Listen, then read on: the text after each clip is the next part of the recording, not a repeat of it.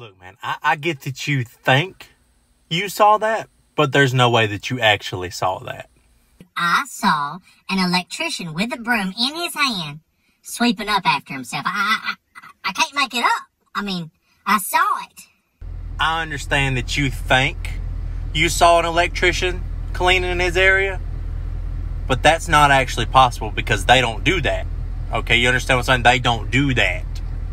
He was cleaning, man. I'm telling. Hey, Roscoe, Over here. Can I not just enjoy my break in peace? What do you want? So listen, I'm trying to tell him that I saw an electrician cleaning up his area. I'm sure in all your years you've seen some pretty crazy stuff too. Uh, I mean, what's the craziest thing you've seen? Oh yes, I've seen some crazy shit about about a couple years back. I went to the bar with three welders, fresh off the pipeline, and I shit you not, not one of those welders told anybody that they were a welder, and not one single one of them had a pearl snap on. Craziest shit I ever seen in my life. You don't sit there and tell me.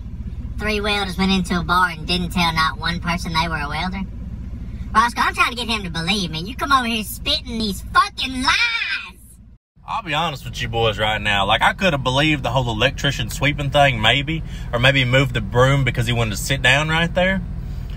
But for three welders to go into a bar and not tell anybody that they're a welder and not one single one of them had a pearl snap on, I ain't never gonna believe that.